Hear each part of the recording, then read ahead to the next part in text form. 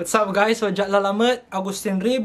Ah, pasensya la, medyo abayaga iabalang, busy ako trabaho, shooting, kantura. Pero abalang nga kanyan siguro amay-amay sumpapoy nata na fake news. Ya ibabagadan si gada kuno susang kagwapo anad Pangasinan, at buong mundo, at buong kalawakan.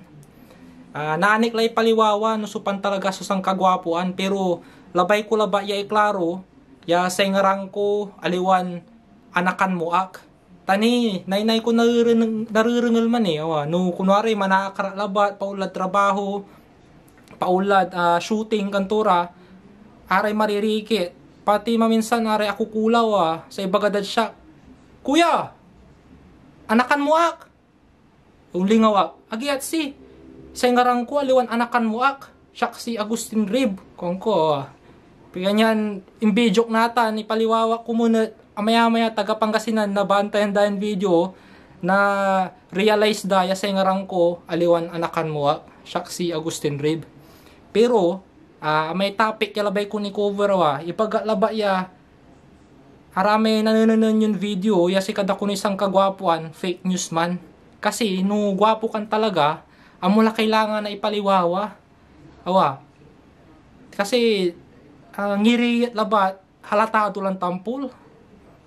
Nga ta kayo, ah, kunwari no, walay shooting niya ah, nakar ko.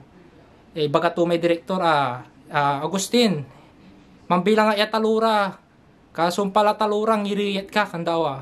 Ah, sampulan ta kayo, ah. Ah, one, two, three.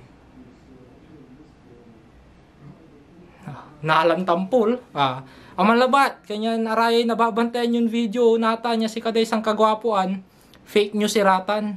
Kasi ang kulay baga no pa isang kagwapuan pero antayo la kasi ngiri labat halatado lang tampol. Ah, minsan niya. 3, 2, 1.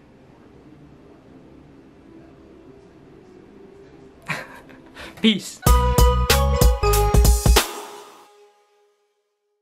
What's up guys? Agustin Rib. Thank you na naman sa panonood ng video ko. Please like and subscribe to my pages at Augustine Rib for more. Peace.